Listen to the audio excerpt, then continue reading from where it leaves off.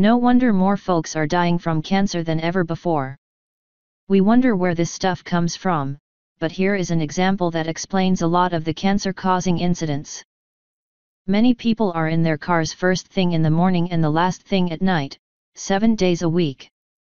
As I read this, it makes me feel guilty and ill. Please pass this on to as many people as possible. Guess it's not too late to make some changes. Please do not turn on A slash C as soon as you enter the car.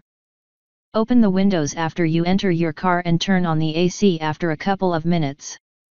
Here's why. According to research, the car dashboard, sofa, and air freshener emit benzene, a cancer-causing toxin, carcinogen. Take time to observe the smell of heated plastic in your car. In addition to causing cancer, benzene poisons your bones, causes anemia and reduces white blood cells. Prolonged exposure will cause leukemia, increasing the risk of cancer. It can also cause miscarriage. Acceptable benzene level indoors is 50 mg per sq fort. A car parked indoors with windows closed will contain 400 to 800 mg of benzene.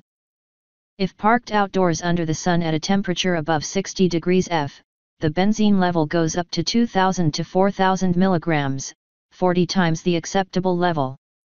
People who get into the car keeping windows closed will inevitably inhale, in quick succession, excessive amounts of the toxin. Benzene is a toxin that affects your kidney and liver. What's worse, it is extremely difficult for your body to expel this toxic stuff. So friends, please open the windows and door of your car, give time for the interior air to dispel the deadly stuff, before you enter. Thought. When someone shares something of value with you and you benefit from it, you have a moral obligation to share it with others.